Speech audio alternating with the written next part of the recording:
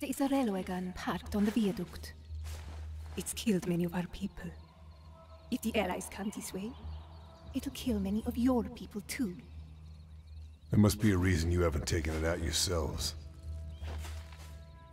Consider it a challenge, Fairburne.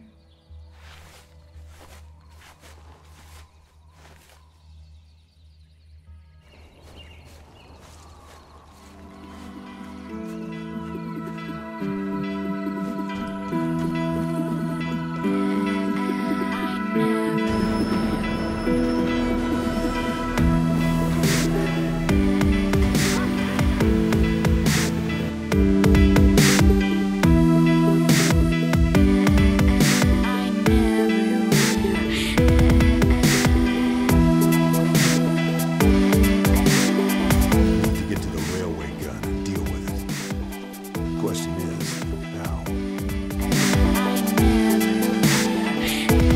That's loud enough to disguise my rifle fire.